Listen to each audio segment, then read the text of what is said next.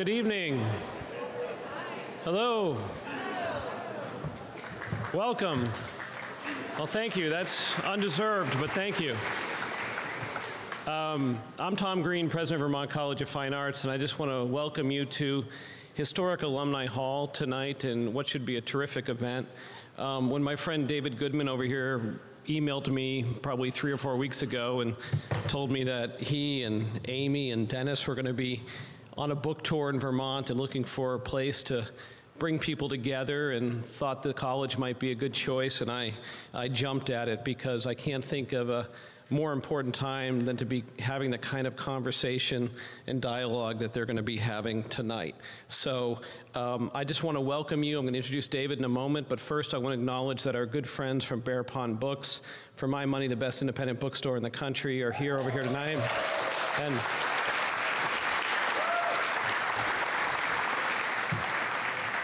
It's the only place I buy books unless I'm traveling, and they have copies of this, so please both support this important book and also your local independent bookstore. And now it's my pleasure to welcome and introduce David Goodman. David is an award winning independent journalist. He's the best selling author of 10 books, host of the public affairs radio show, The Vermont Conversation, a contributing writer to Mother Jones. He lives here in Vermont, and if any of you have ever attended the local Spelling Bee fundraiser, you know that he and I are both people who usually go out in the first round. David Goodman.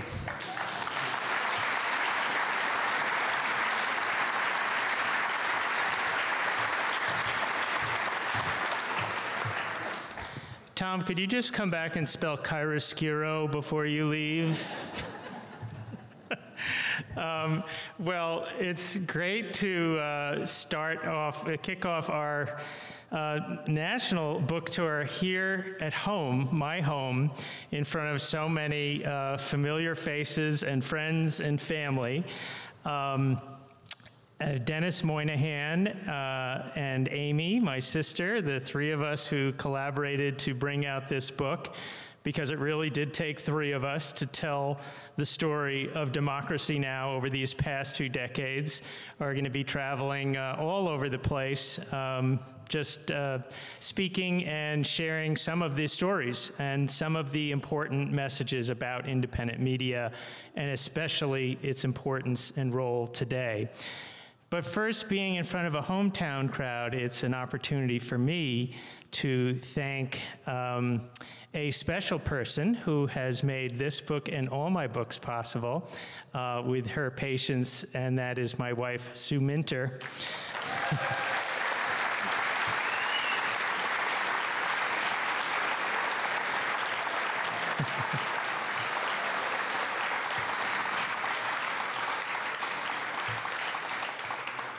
you know, Sue's courage, tenacity, and vision to make the world a better place inspires me to do the same thing in the work that I do writing books. So thank you for all you've done for all of us this past year, Sue.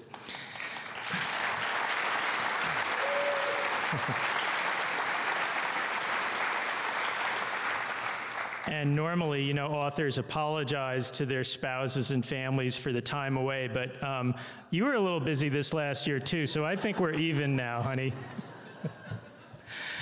Um, and also to uh, echo Tom's comment about Bear Pond Books, one of the things we do when we travel is to work with independent bookstores, which are these sanctuaries of dissent all over our country. And Bear Pond Books upholds that tradition in the most wonderful way. We're so lucky to have this bookstore at the heart of our community, and I think it's part of what makes our community so vibrant and so smart. So thank you, Claire and Amanda Amanda and everyone.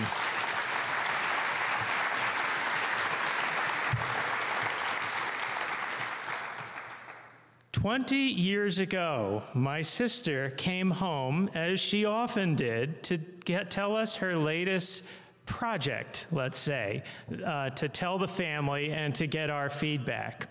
And at that time, Amy was the news director at WBAI in New York, a, one of the five Pacifica radio stations, uh, one of the largest community radio stations in the country.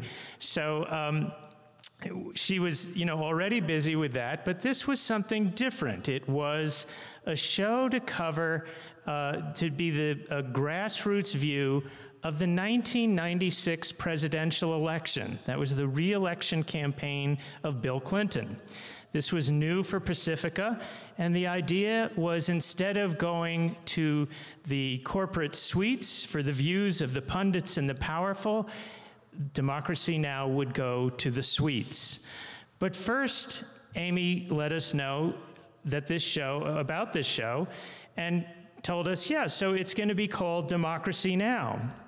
And um, I told her, as her brother, I felt I should be perfectly candid and told her, that is the worst name you could imagine for a show. You have to do this by stealth, you know, just like the election show or you know, fun with Amy, just a totally stealth approach. You just fly under the radar. You can do all the same things. But, you know, a show named Democracy Now!, it's just never going to last. Well, we saw then what we've seen so often since, which is Amy's uh, instinct to buck conventional wisdom, even when it comes from her dear brother and the rest of her family. So that show was an experiment. It was supposed to last eight months, start in February and wrap up oh, a day or a week after the election and call it good. So here we are, 20 years later, somebody else will have to do the math how many shows that was. What began as a radio show on nine stations around the country, and you should have seen this operation. It was in the garret of a firehouse in uh, Manhattan, and Amy would have hanging tape, masking taped each day the front pages of all the newspapers, and she would be referring to them and rustling papers, but still doing the job that you've many of you know that she does today. But it was in this, uh, and there was also a brass fire pole. And that's how they would she would travel to get downstairs and the other producers they jumped down the fire pole. So uh, underscoring the urgency of the mission there well, they've since graduated, and it is now, Democracy Now! is uh, both, of course, a TV show and a radio show, and on the internet. It's on 1,400 stations worldwide, uh, seen by millions on the internet, and has really come to be uh, a staple in many of our diets of the news that we consume that we don't see or find elsewhere. And why did this catch on? Why did, was there the demand for democracy now greater after the election, uh, or at least as great, if not greater, than it was during that election of 1996? Well, we can thank the corporate media for that. The void left by the corporate media created the opening that Democracy Now! has filled the corporate media, which has for so long been a cheerleader and a megaphone for the powerful, instead of what the media is supposed to do, challenge those in power. And for many of us, probably, you know, one of the most visceral examples of that was the Iraq War in 2003 and 4. Well, we really can't say it's ended. When the you know, the, admission, the Bush administration and the media were in what we describe in a previous book, Static, as a propaganda two step in which the White House released catchphrases like, the smoking gun will be a mushroom cloud. The White House leaks it to the New York Times. The New York Times publishes this image uh, where it's, you know, in big bold call out quotes in their story. And Dick Cheney goes on the Sunday talk shows to say, the smoking gun will be a mushroom cloud in Iraq, but don't take it from me, take it from the New York Times, where helpfully the national security correspondent at that time, Judith Miller, had essentially been his mimeograph machine to put this kind of propaganda into play. Um, and we know the disastrous consequences of this. The lies cost lives, and that toll uh, continues to this day as we still, incredibly, 2017, this is 14 some years later, we are still in Iraq. Um, and part of the mission, as Amy has often described it, is to go to where the silence is to go to the target end, to the communities that have been targeted in these wars, and put the microphone in front of the people there. It's a very different perspective when you don't have crosshairs on you, but are in fact just treated as a human being whose lives matter. Well, it was this media landscape was the perfect setting for a guy named Donald Trump to waltz into a couple of years ago. Trump understood our media better than the media understood it. This almost a cartoon character out of reality TV with his package of alternate facts and great theatrics and name callings and insults, misogyny and xenophobia essentially had the corporate media of this entire country at his beck and call. In fact, there was a study done not long ago which uh, calculated that Donald Trump was given $1 billion of free airtime during the primary season. And so a public that may have been only, oh, marginally paying attention uh, to what's going on is just being inundated uh, constantly with the messaging. And, you know, that kind of saturation bombing works when it's coming through every possible airwaves that, that you are tuned into. So, the uh, Trump proved for this kind of media environment absolutely irresistible. You know, courage in the world of journalism is not something that happens in hindsight. Courage is something that happens when it matters, telling, talking truth to power, and challenging those who are speak in, speaking inconvenient truths at those times. It's not a comfortable place to be. Amy has certainly found that in her travels. We have, as part of our new book that chronicles the 20 year journey of democracy now, a whole section called An Independent Reporter's Rap Sheet. And uh, I know this rap sheet really well as her brother because oftentimes the first call from the police stations or the military barracks in Indonesia was to our house Mom, Dad, Amy's arrested again, and uh, there's someone on the phone from the Indonesian embassy saying they want to kick her out of the country. Um, so, you know, that was 1991 when she and her colleague Alan Nairn witnessed a massacre in East Timor and reported on it and almost paid with their lives. Alan had his skull fractured by the Indonesian troops who were bashing him with US made weapons. Um, but this has continued. Uh, Amy was uh, arrested in 2008 uh, and roughed up at the just recovering uh, covering the Republican convention in Minnesota. And uh, more recently, uh, when she was in North Dakota covering the Dakota Access Pipeline protests that I know she's going to speak more about. So, no, it's not a place that one uh, goes to, going to where the silence is. Uh, it's not silent for the journalists who go there, that's for sure. Um, so, for all these years, Democracy Now! has been the, the beating heart connecting a far flung movement around the world.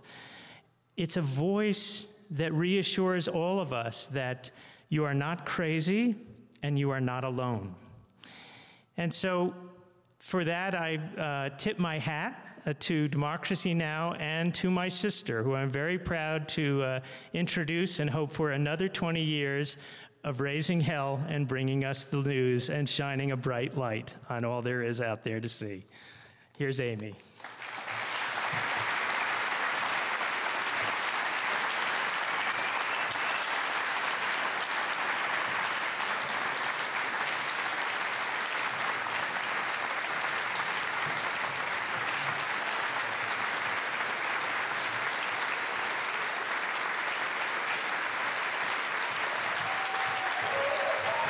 Oh my God. Okay. Thank you so much.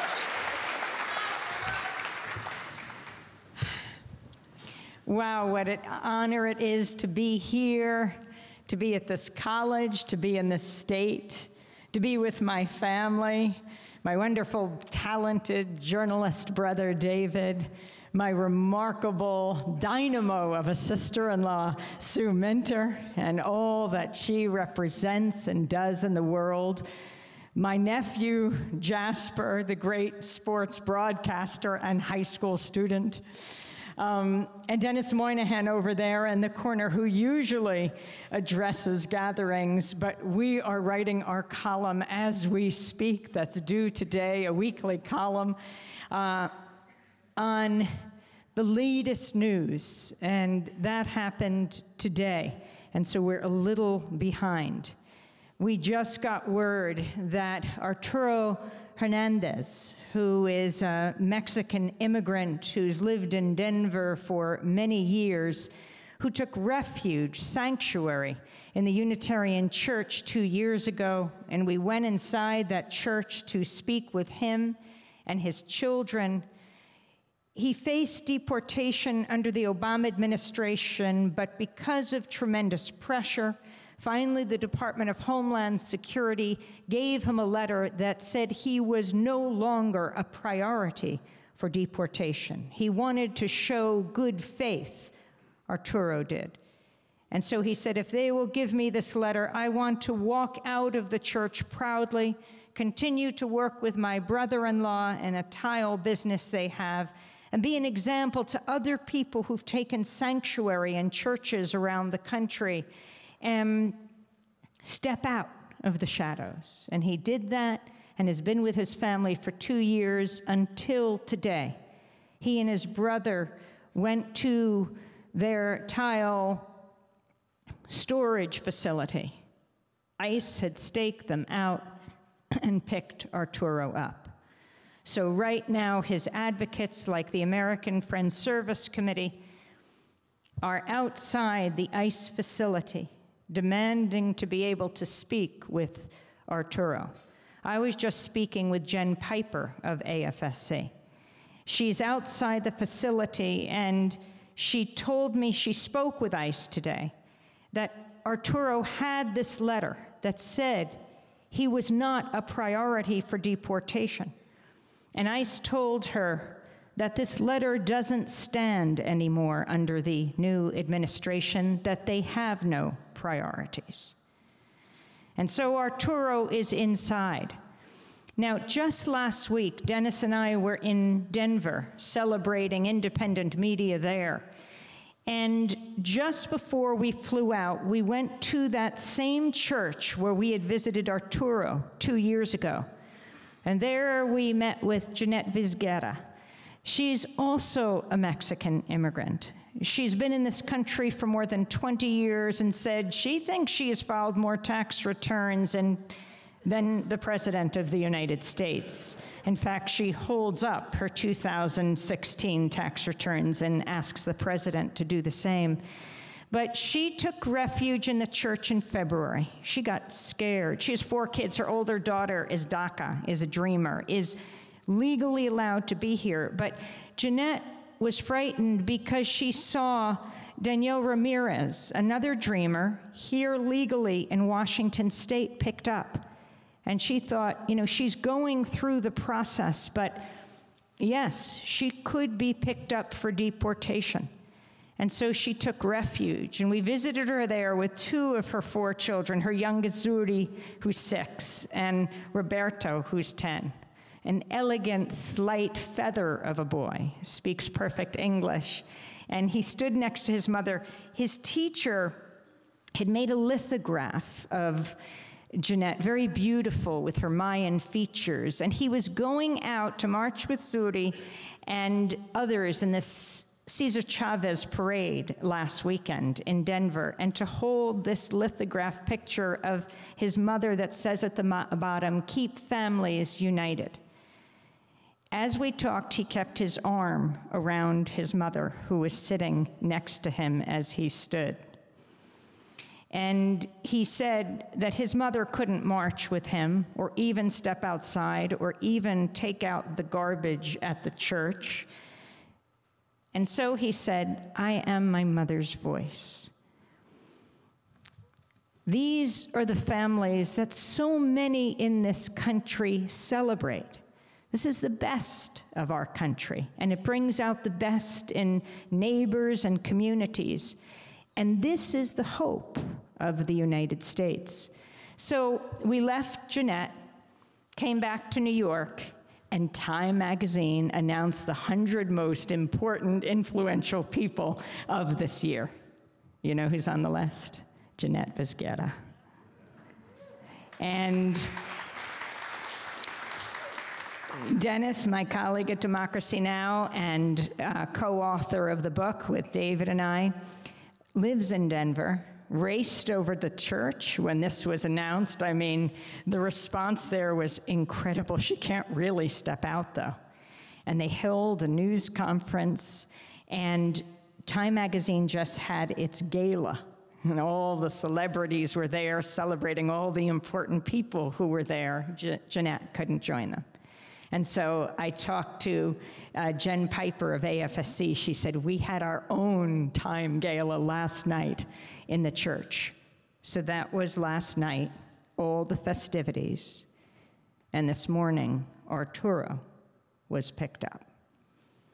Now, what's really interesting about what's happening is who is coming together to protect immigrants. Jeanette told me she'd gotten a number of death threats. And so the police chief came to her, the Denver police chief. She obviously couldn't go to him. And he said, I will protect you. You just tell me. You show me these threats. And I said, Well, what gives you hope, Jeanette? She's now been in the church for two months. And she said, Because there's so many more people, so many thousands of people who are expressing their support. They so far outnumber the people who are threatening my life. And the mayor of Denver has expressed his support, and the local congressman, Jared Polis, has expressed his support. And just a few weeks ago, my co host on Democracy Now! and I, Juan Gonzalez, went to a meeting in New York in a nondescript office building. I mean, hundreds of people were packed in. It was not your typical everyday activists who are so noble in devoting their lives to making the world better. But it was state legislators from around the country, it was mayors, it was city council members who are coming together as a new form of resistance. How do we support each other? In defying the US government, they were saying, in providing sanctuary to the most vulnerable, in not colluding with or collaborating with ICE, this is really amazing. And it's moving on up um, among elected officialdom. Arturo and Jeanette are targeted, but they have hope because of people like you here and all over the country. Now, I am so proud to have worked with Juan Gonzalez for these 21 years of Democracy Now! from the very beginning. And last year, he became the first Latino journalist in New York to win, uh, to be uh, inducted into the uh, New York Journalism Hall of Fame. Oh, it was a wonderful ceremony in Midtown Manhattan, and who were the people uh, who were being inducted? Lesley Stahl and Charlie Rose, um, and Juan Gonzalez. We were all there to celebrate him. His speech put everyone else to shame. He stood up reflecting on his life as a columnist at the New York Daily News, where he just retired after 29 years, but he kept with his other DN, Democracy Now! He said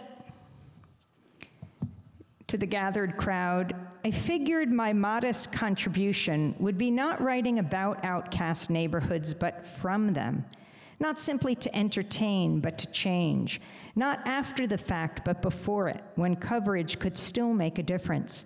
I've tried to use as many of my columns as possible to probe the injustices visited upon the powerless. Yes, the rich and famous are also victims on occasion, but they have so many politicians, lobbyists, lawyers, gossip columnists, and even editorial writers ready to jump to their defense that they'll always do fine without my help.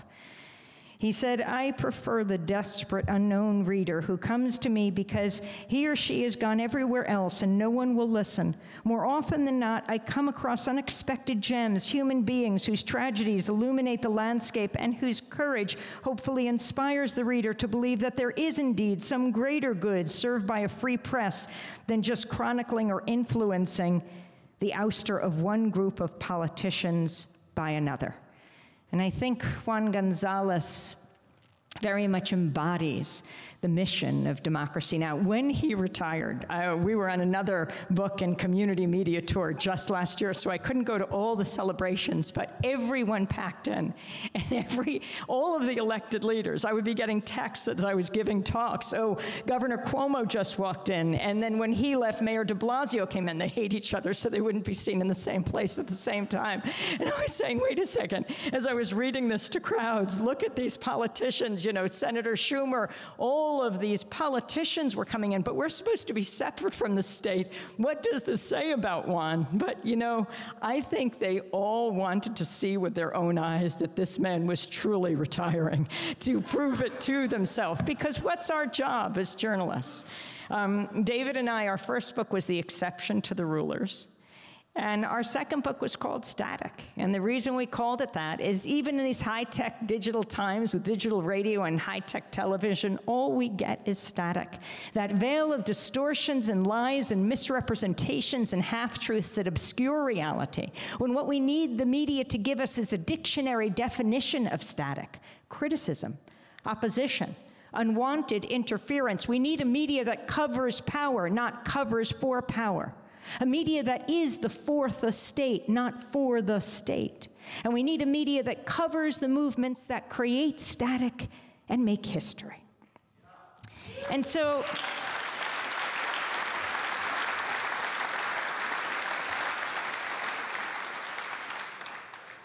you know, as we travel the country, the news keeps breaking at a hellish pace right now. And I use that word advisedly.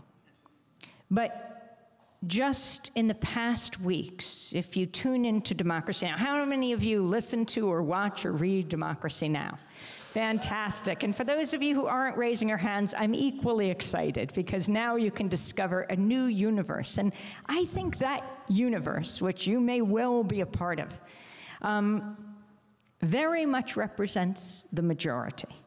Because I really do think that those who care about war and peace, those who are concerned about the growing inequality, not just between the rich and the poor, but the rich and the rest of us, those who are concerned about social, economic, racial injustice, who are concerned about climate change, the fate of the planet, are not a fringe minority, not even a silent majority, but the silenced majority, silenced by the corporate media, which is why we have to take the media back. I mean, you think of what you get on the networks. This small circle of pundits who know so little about so much, explaining the world to us and getting it so wrong. The power of Democracy Now!, why it grew from nine community radio stations in 1996 and then was supposed to, well, you know, wrap up and we'd move on to other projects, and now is broadcasting on 1,400 public television and radio stations around the country and around the world. Um, 1,400 and a station a week is picking us up somewhere.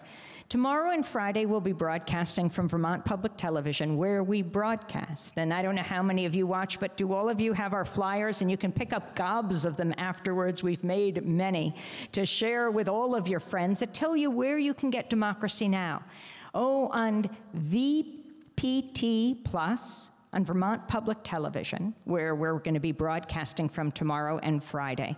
Tomorrow we'll be talking with Congressman Peter Welch about the latest news, the top stories around tax reform and the corporate taxes that President Trump wants to cut from 35% to 15%. It's believed it will lead something to like a $2 trillion deficit. Uh, I mean, isn't it his party that are the deficit hawks?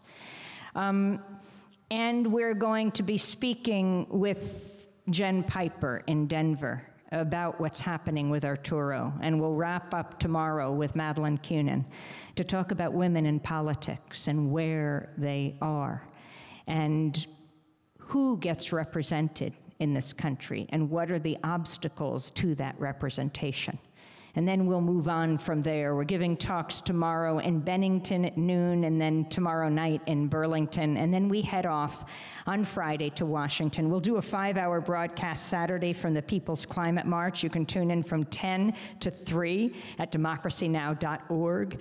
Uh, hundreds of thousands of people are expected. Last weekend, we did the same kind of broadcast. That had a main stage. This won't even have speakers in that way.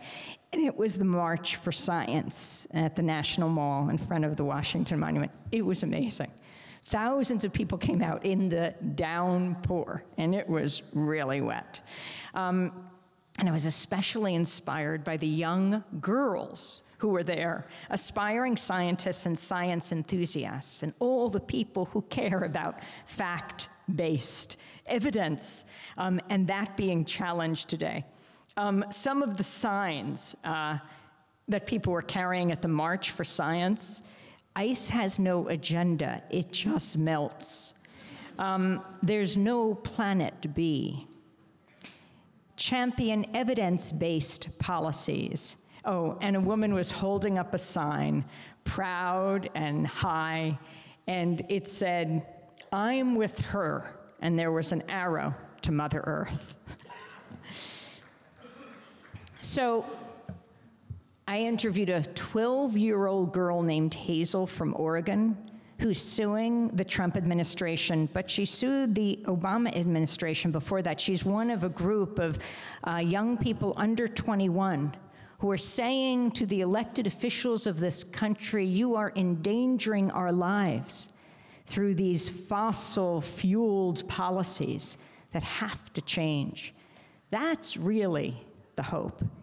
This mass resistance that we are seeing everywhere, I mean, and the acceleration of it.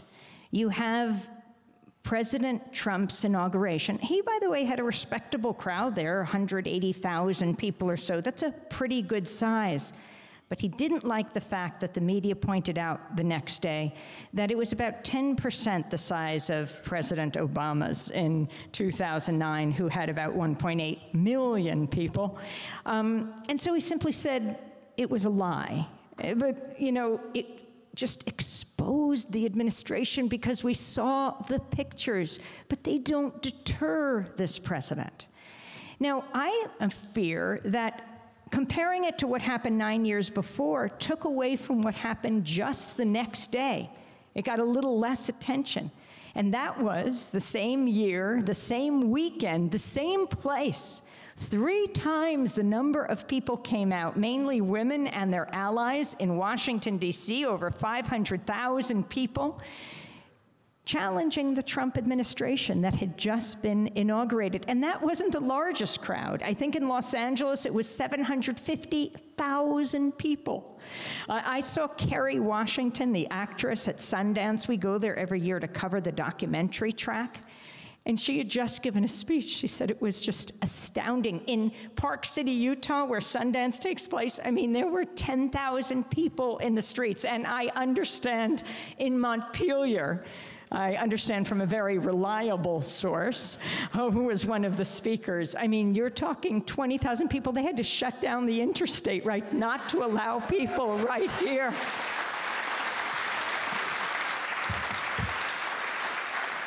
I mean, we've never seen anything like this. And you go from that to Muslim ban one, right? That President Trump tried to impose to prevent refugees from seven Muslim majority nations. This was imposed so rapidly with such little discussion or evaluation for the basis for this, except for xenophobia and anti Muslim sentiment, that thousands of people came out from all over the country to JFK Airport, to Dulles Airport, to Los Angeles Airport. I mean, this wasn't organized.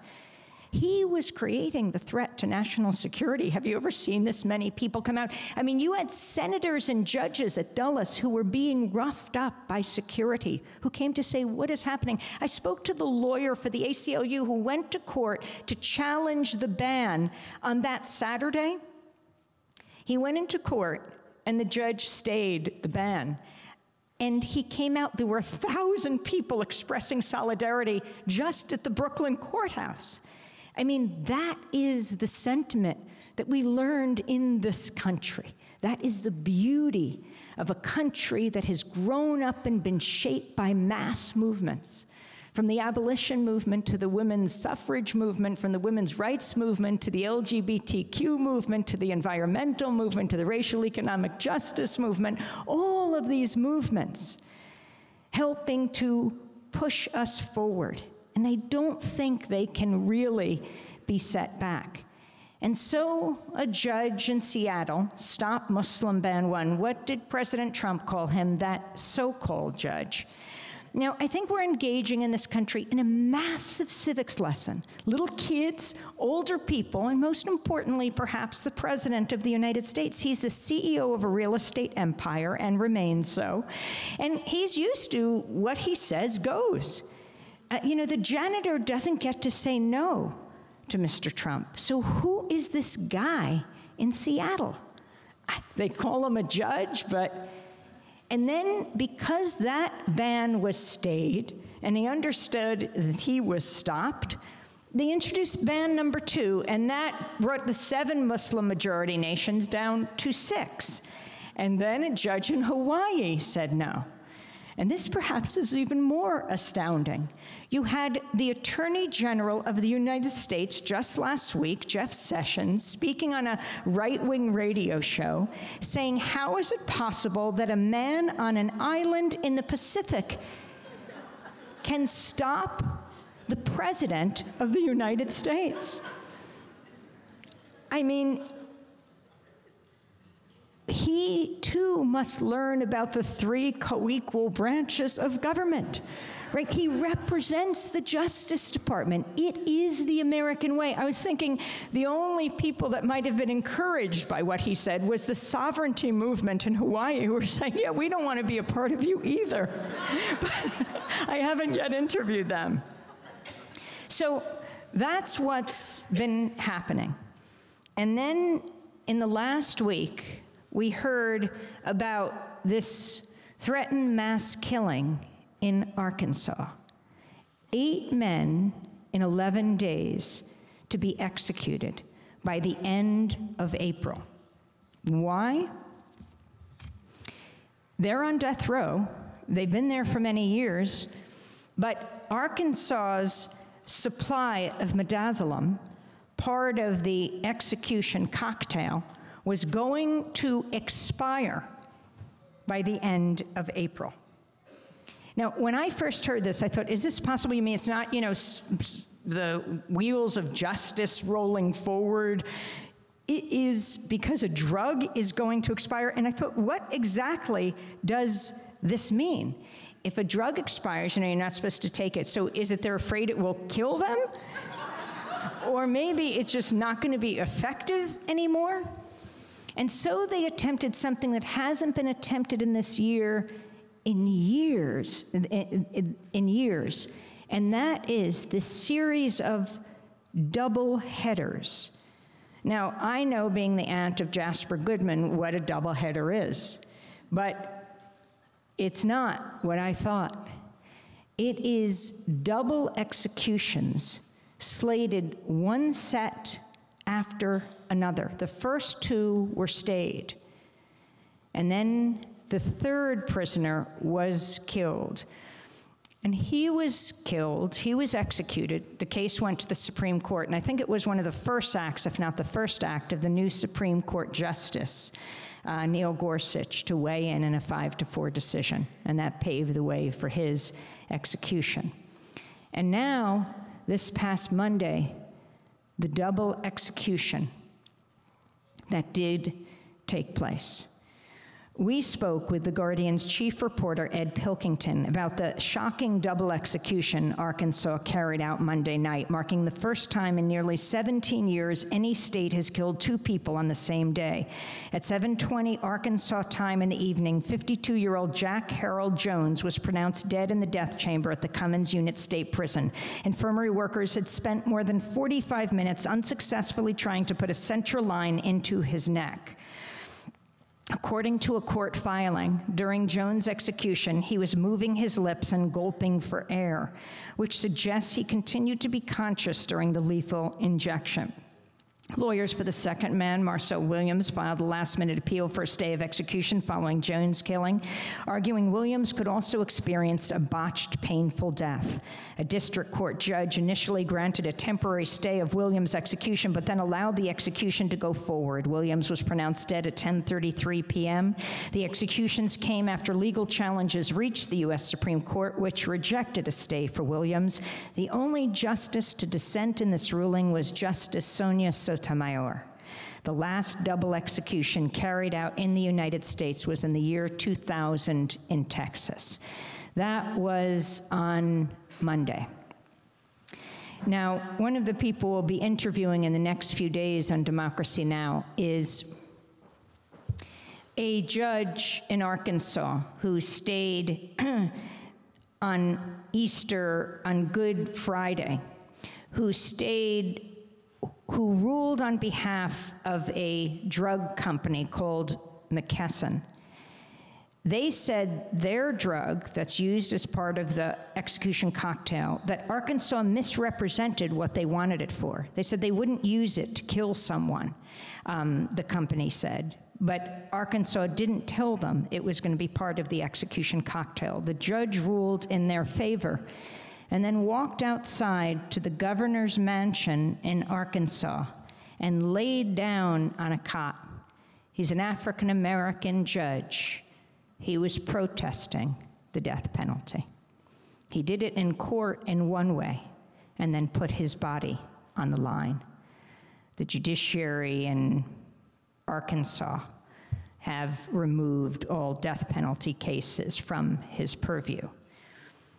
This all brought to mind what we do on Democracy Now! going to where the silence is. And a couple of years ago, we went down to Georgia to try to cover an execution. We didn't know if it would take place. I mean, I believe if there are executions in this country, we should be broadcasting them. That sounds gruesome and horrific. But most people don't realize in this country how alone we are in the industrialized world when it comes to imposing the death penalty. You know, part of the reason that this state, Arkansas, was trying to rush these executions is because the drug supply to kill people is running out overall. The reason that the drug is expiring and they can't get more is the drug companies around the world are saying you can't use our drugs for death.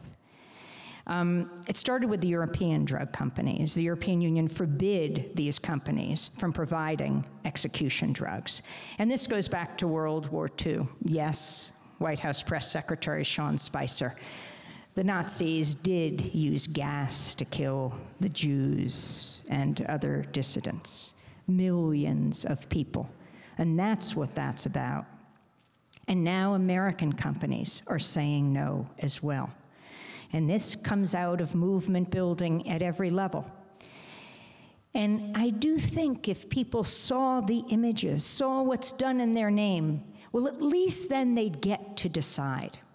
So I want to go back to 2011, that year that the bottom rocked the top. You know, you go to the Tunisian Revolution at the end of December 2010, when a young man named Mohamed Bouazizi came out of university, had no opportunities, uh, was starting to sell fruit and vegetables in a marketplace. The authorities stole his scales. He was so frustrated by the lack of opportunity, he set himself on fire. That sparked the Tunisian Revolution that overthrew the dictator, unfortunately supported by the United States, and that sparked the Egyptian Revolution. And you know what that was all about. For 18 days, a million people gathered in Tahrir That was in Cairo, and millions throughout the country until they threw out their dictator, Mubarak.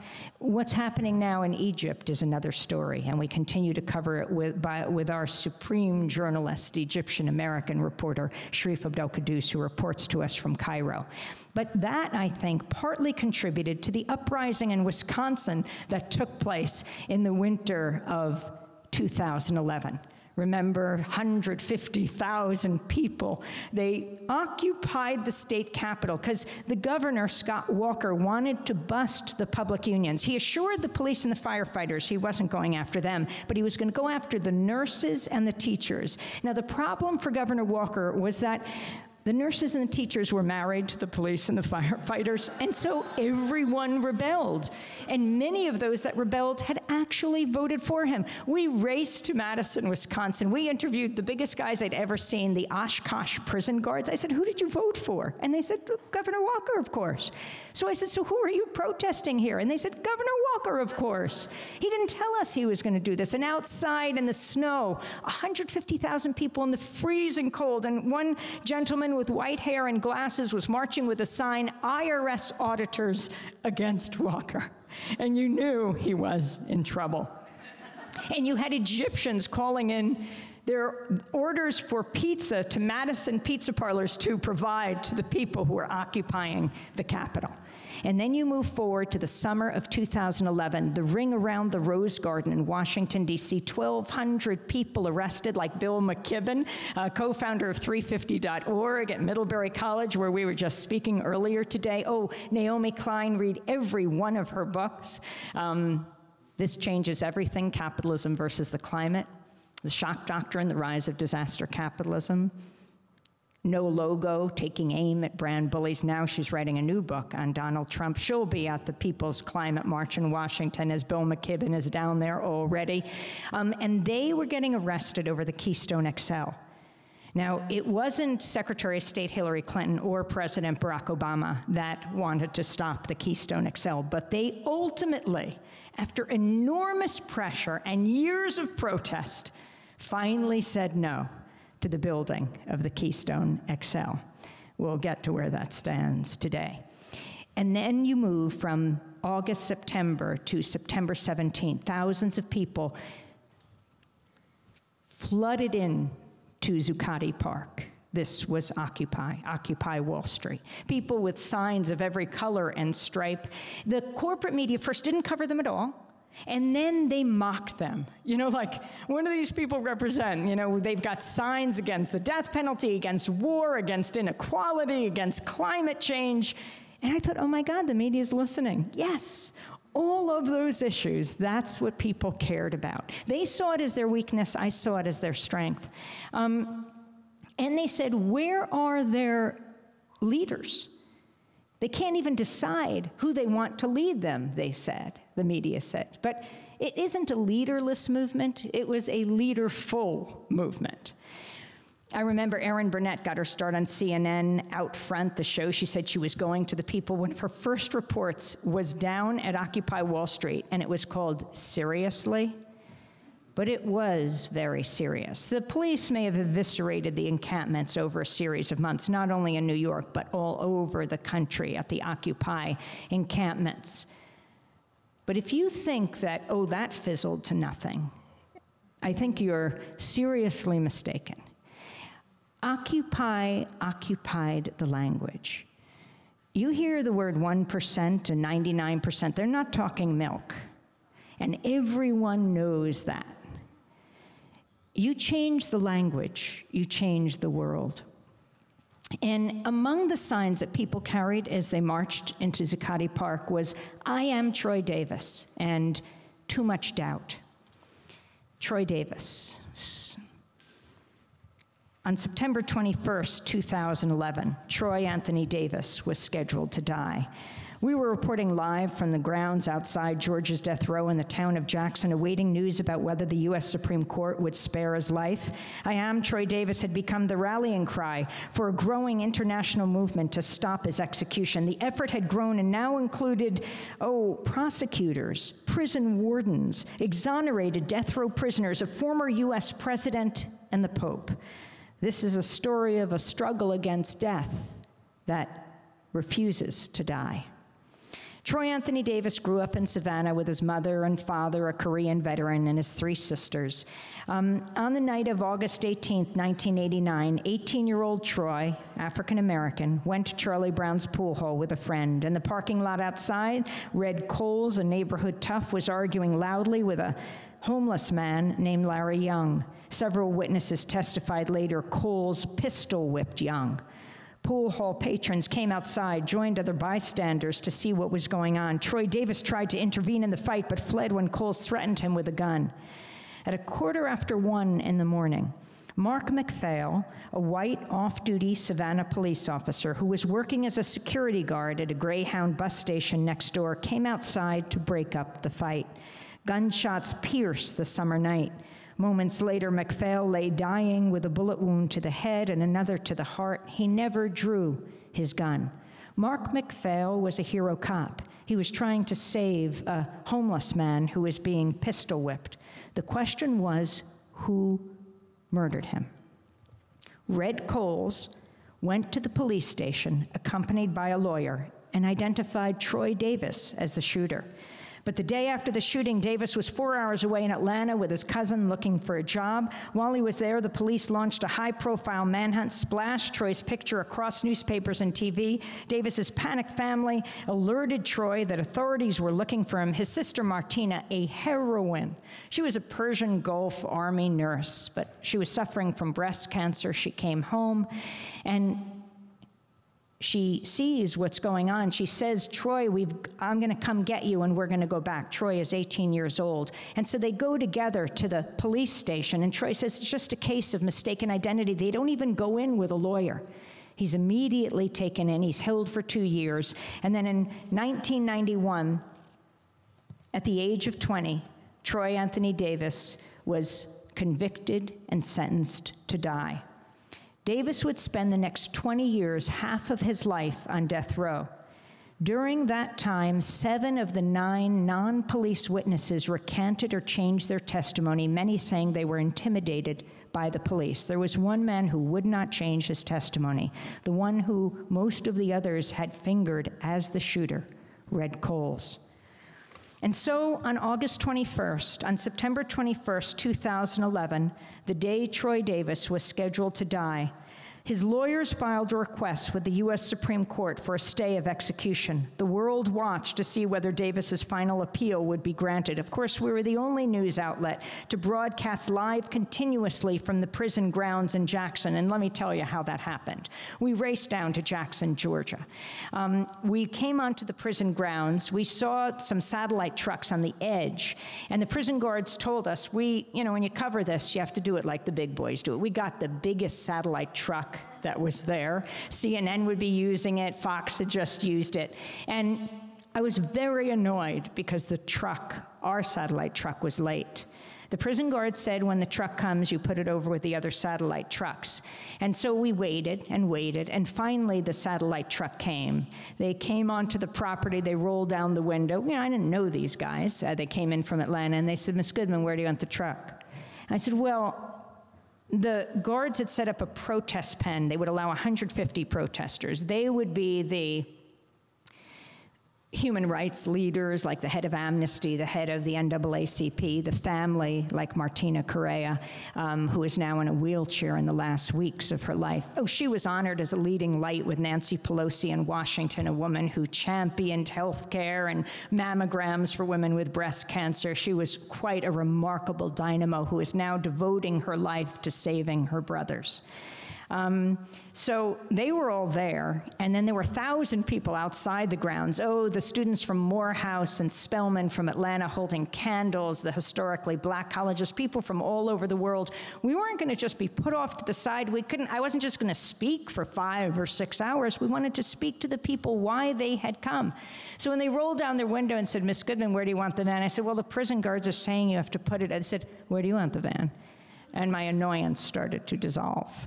I said, Well, I was thinking of putting it right by the protest pen. And they barreled the satellite truck over to the pen. The prison guards came running over, and these guys got out of the truck, our van operators, the cameramen. They were bigger than the Oshkosh prison guards in Wisconsin. And the prison guards backed off. And then they took the microphone, they handed to me, and they said, where do you want to broadcast? I said, I think right up against the rope here so that I can reach the people. Um, and they said, they formed a semicircle around me, kind of protective shield with their cameras, and they said, start the show. And so we started at six o'clock in the afternoon. Now, the Department of Corrections in Georgia had given us a press packet. It was very thin. it described what would happen to Troy that day. He could visit with family until 3 o'clock, but then they'd have to clear out for a routine physical. Routine physical? So down the street was the church where the human rights leaders massed. And one of them was Ed Dubose, who was the president of the Georgia chapter of the NAACP. He said, routine physical? So that they can make sure he's physically fit, so they can strap him down so they can put the murder juice in his arm. Make no mistake, they call it an execution. We call it murder. Now, right before that, a Texas man on death row had attempted suicide. They raced him to the hospital, got him better, and then they executed him. So, Davis had turned down the special supper, the Last Supper. Uh, you know, a condemned prisoner gets to eat anything he wants and choose it. And he said no to that. So the press packet described exactly what he would be offered, the standard fare. It said, quote, grilled cheeseburgers, oven brown potatoes, baked beans, coleslaw, cookies, and a grape beverage. And then the next page was a white sheet and it just had four lines on it in big letters. You know, my dad was an ophthalmologist, an eye doctor, and I was so used to those eye charts that, you know, you read as it gets small. This is what this looked like except the lines were one or two words. The first line said pentobarbital, then pancuronium bromide, potassium chloride, and Ativan, in parentheses, a sedative. The pentobarbital anesthetizes, the pancuronium bromide paralyzes, the potassium chloride stops the heart. Davis refused the sedative and the Last Supper. By 7 p.m., the U.S. Supreme Court was reportedly reviewing Davis's plea for a stay. The case was referred to Supreme Court Justice Clarence Thomas, who hails from Pinpoint, Georgia, a community founded by freed slaves that's near Savannah, where Troy had grown up. Needless to say, the Supreme Court denied the plea. Davis's execution began at 10:53 p.m a prison spokesperson delivered the news to the reporters outside, time of death 11:08 p.m. The eyewitnesses to the execution stepped out. According to an Associated Press reporter who was there, these were Troy Davis's final words, you know, strapped down to a cross-like gurney, his arms and his legs and the injection put in his arm, and just as he's about to die, they pull back the curtains on the window where the audience is.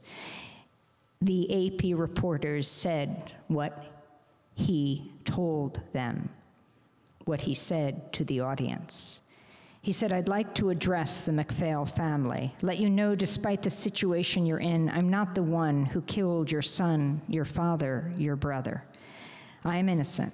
The incident that happened that night was not my fault. I did not have a gun. All I can ask is that you look deeper into this case so that you really can finally see the truth. He said, I ask my family and friends to continue to fight this fight. And then he turned to his executioners and said, For those about to take my life, God have mercy on your souls. May God rest your souls. The state of Georgia took Davis's body to Atlanta for an autopsy, charging his family for the transportation. On Troy Davis's death certificate, the cause of death is listed simply as homicide. As we stood on the grounds of the prison just after Troy Davis was executed, the Georgia Department of Corrections threatened to pull the plug on our broadcast. The show was over. I was reminded of what Mahatma Gandhi reportedly said when asked what he thought of Western civilization. He said, I think it would be a good idea. That was September of 2011. But things started to look up in December around another issue climate change. You know, Democracy Now! covers all the UN climate summits, and from Copenhagen to Cancun, from Durban in South Africa to Doha, from Poland to Peru. This year we were in Paris. We're the only national broadcast to be there every day. Uh, next year we'll be in Bonn, Germany. Why, you might say, waste the fuel? What happens at these UN climate summits? It's more what happens outside the summits. The thousands of people from the most directly affected areas of the world, like the 15 year old boy from the Maldives who looked into our camera in Copenhagen and said, You are drowning my country. Or the people of sub Saharan Africa who said, You are cooking our continent. The US is the historically greatest uh, ga- greenhouse gas emitter. We have a responsibility, not only to the rest of the planet, to, but to what's happening in our country as well. And in Durban of 2011, there was a little breach. The people in, outside, some of them were invited in.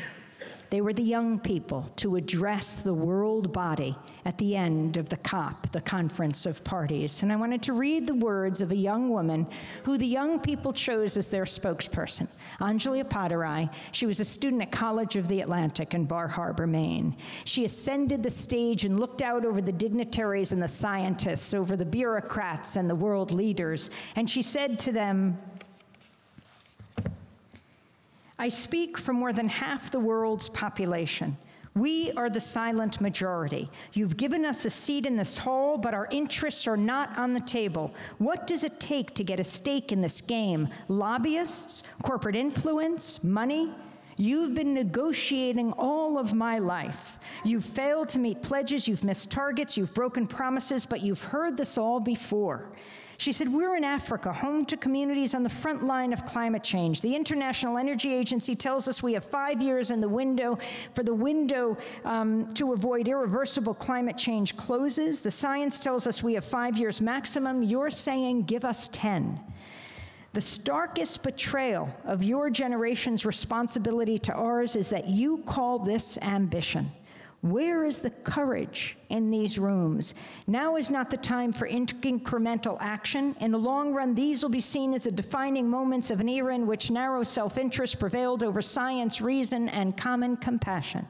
She said, There is real ambition in this room, but it's been dismissed as radical, deemed not politically possible. Stand with Africa. Long term thinking is not radical.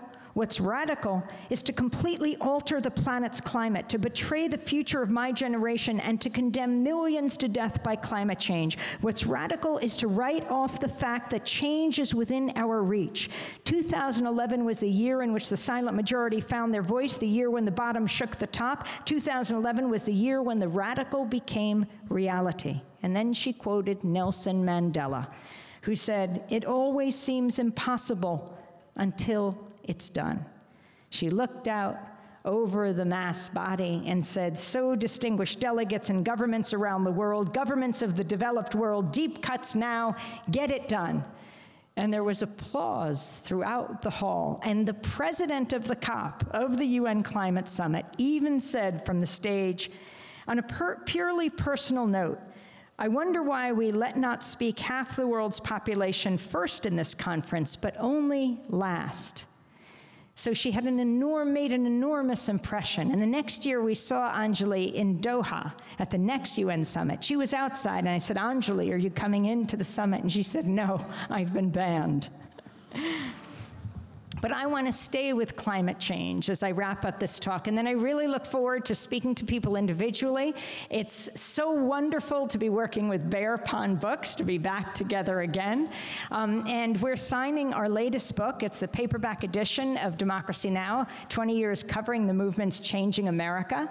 Um, we are hoping it will make its way up the New York Times bestseller list. The only reason the Times prints the words Democracy Now! is when, you know, it's actually just a scientific calculation and they're forced to do it. Um, but also, when you get on these bestseller lists, you get into libraries. People who go into bookstores not like Bear Pond, but bookstores that just sell the bestseller lists we'll see something different. And it really provides a roadmap to a different universe that I think encompasses the majority of people. If you get two books, you might want to give a graduation gift or a birthday gift or give one to a library. We have these wonderful DVDs that we're offering as a gift. They're my last interview with Noam Chomsky two weeks ago and was done with Juan Gonzalez in our studios in New York, or the Oscar nominated film Dirty Wars by former Democracy Now! Producer Jeremy Scahill, and you can choose one of those.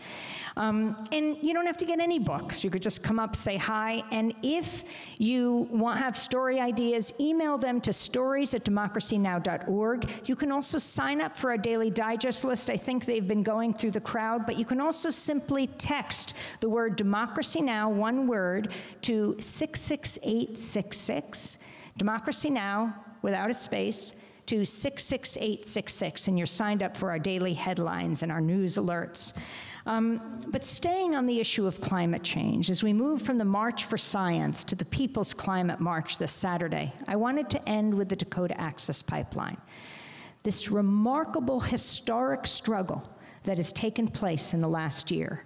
You know, it began on April 1st, 2016, when the unofficial historian of the Standing Rock Sioux, LaDonna Brave Bull Allard in North Dakota, opened up her property along the Cannonball River to resistors, not to, they don't call themselves protesters, they call themselves water protectors. Why?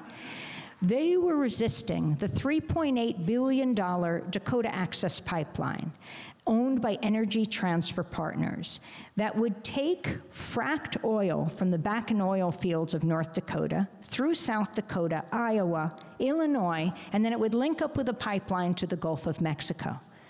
The Standing Rock Sioux feared that this pipeline going under the Missouri River, the longest river in North America, could pollute this water supply for some 17 million people downstream, not only Native Americans, but for so many Americans.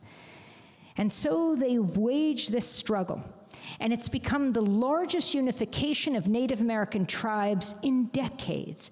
Tribes from South America, Central America, the United States, the First Nations of Canada, all gathered that first resistance camp called Sacred Stone then became two and three. There was the Red Warrior Camp, and thousands came, native and non native allies. And it grew through the months. People engaged in civil disobedience trying to stop this pipeline from being built.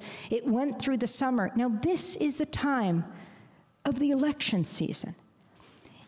And when you think about it, in the general election, when the, I don't really call them journalists, the news personalities on television led the debates, not once did they ask a presidential candidate about the issue of climate change that will determine the fate of the planet, even when this historic gathering was taking place in North Dakota.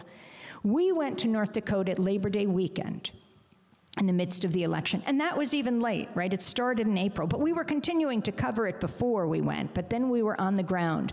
My colleague Laura Gottesdiener, who's here, um, we went together with Dennis Moynihan and as well John Hamilton, and we made our way to North Dakota. That weekend, Labor Day, the Native Americans didn't think that the company would be building the pipeline because it was a holiday weekend, but they were gathering, performing uh, ceremonies, we were filming, and then we were following a group of Native Americans who were going to plant their native flags on the area of their sacred burial grounds. A judge was ruling in the case, and he was going to rule the next week. And he asked the tribe, If you say this is your sacred burial ground, prove it. Show me a map where you say the mounds are. So the Standing Rock Sioux provided the map designating the areas. They gave that map, the judge gave it to Energy Transfer Partners. And on that Saturday of Labor Day weekend, as the Native Americans went to plant their flags, they saw the bulldozers operating at full tilt where they hadn't been before. They'd leapfrogged over vast areas of land to get to the part that they had mapped out. The judge was going to decide in a few days were they destroying the facts on the ground and then it would be a moot point the following week? The people were horrified, they were enraged. The first to go up onto the property were women with their children to challenge the bulldozers. And they were demanding they pull back. One bulldozer, two, three, four, five, and these are heroic stands. It's really dangerous to be in front of a bulldozer that's moving massive weight of dirt. I have to say, at that moment, as we were filming and I was seeing this happen, I thought back to March 16, 2003, three days before the US invasion of Iraq, in a different place in Gaza, in Rafah. A young woman from Evergreen College in Washington named Rachel Corrie was standing in front of a Palestinian pharmacist's home with a big orange vest like construction workers wear trying to stop a US bulldozer made by Caterpillar Company that was operated by the Israeli military from bulldozing their house, bearing witness. She was with the Inter- International Solidarity Movement, and she was crushed by those mounds of dirt, and she was killed. And that's what came to mind when I saw the Native Americans come up on this land, how terrifying it actually was. But they wouldn't stop, and the bulldozers did stop as a result. And they started to pull back. And that's when the security guards of the Dakota Access Pipeline unleashed dogs on the water protectors. Dogs. They would push them into the crowd, and even the dogs would pull back, and their guards would throw them into the crowd, and they would bite their way out. And we filmed a dog with his mouth and his nose dripping with blood. We posted that video online that night, and within 24, 48 hours, there were 14 million views on Facebook. We went back to New York it was a horrifying scene. That day, we interviewed Winona LaDuke, who's speaking right now in New York at Union Theological Seminary, the great Native American leader from the White Earth Reservation in northern Minnesota. She was there with her teepee, and we talked to her. And she said, the governor at the time in North Dakota was Jack Dalrymple. She said, Governor Dalrymple, you are not George Wallace. This is not Alabama. This is not 1965. We are through. So we went back to New York, continuing to report on this. And then Thursday night, the judge was going to hand down his decision on Friday. The governor called out the National Guard it didn't look good for the Native Americans the next day. It didn't look like the justice, the, the, the judge was going to rule on their behalf. Oh, and they did something else. Uh, the authorities issued an arrest warrant for me. I, I, didn't know this at the time, but that's what they did. So on Friday, um, we flew up to Toronto for a premiere of a film at the, in Toronto International Film Festival. And Nermeen Sheikh and I co-host on Democracy Now! Um, it was a film about the muckraking journalist I.F. Stone uh, who told students if you're going to remember two words, remember governments lie. And if you're going to remember three words, all governments lie. And that's the name of the film. And then it talked about independent news organizations like Democracy Now! Uh, and Matt Taibbi of Rolling Stones. So Matt came up as well, and we spoke after the film. And the only reason I went up, I thought this is a chance to talk about the Dakota Access Pipeline that we had just covered that weekend. Uh, people in Canada deeply care about First Nations. And the next day we were invited to uh, speak at the University of Toronto. In the middle of my speech there, I got a text. I got a text. And it basically said, You're under arrest. I had no, I was in the middle of the talk, just like I get it right now. This text that I just got said, Looks like Peter Welch can do Friday, Democracy Now! We need him tomorrow, though, but we'll deal with that later. Uh, Laura, we have to get on this. But anyway, um, but this text, that's a little less ominous than what I saw in Washington, in, in Toronto it said there's an arrest warrant for me. And this is the first I was learning of it. I didn't know the number. It was a North Dakota number. It turned out I was a lawyer in North Dakota. Going, I don't know if this is some kind of scam. I'm looking out on the people of my talk.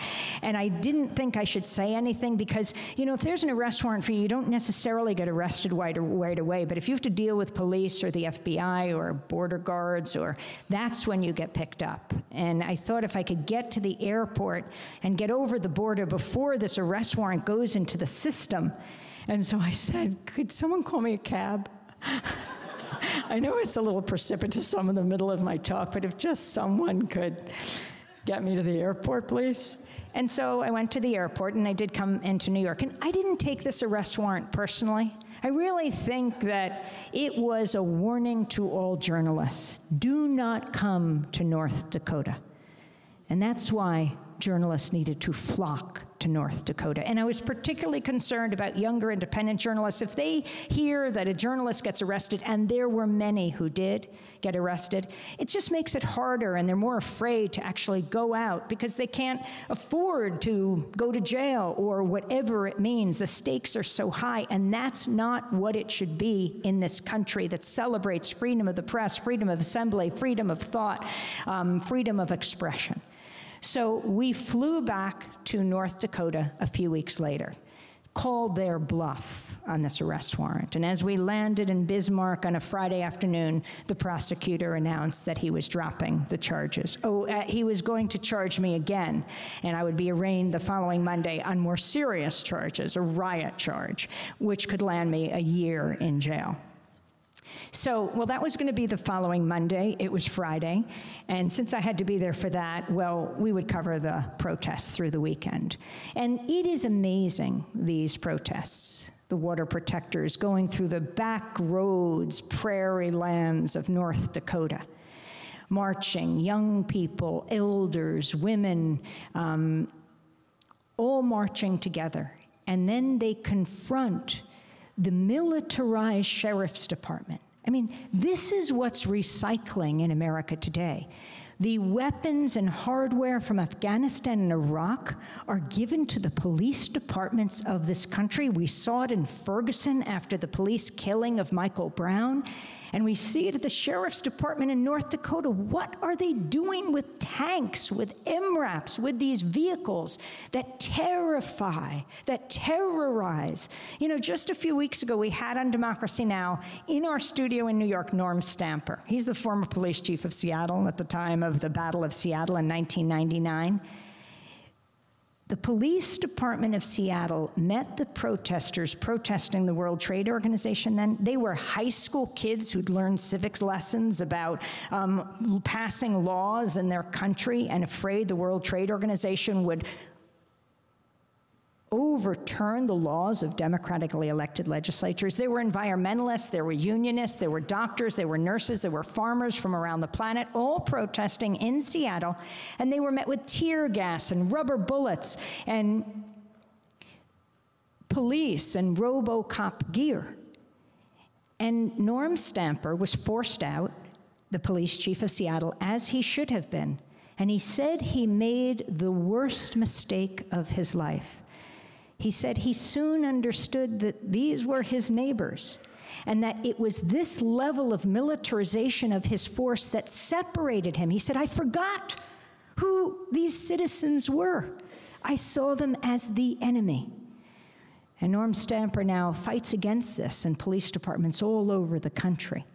Um, and so here are the elders and the children, and they're walking the back roads, challenging the building of the Dakota Access Pipeline. And when they confront this militarized sheriff's department, sometimes they hold out glasses of water. They say, We're doing this to protect this not only for our children, but for yours. On Monday morning, we did our show in front of the Mandan Courthouse and Jailhouse. They're right next to each other, only separated by the Ten Commandments in between.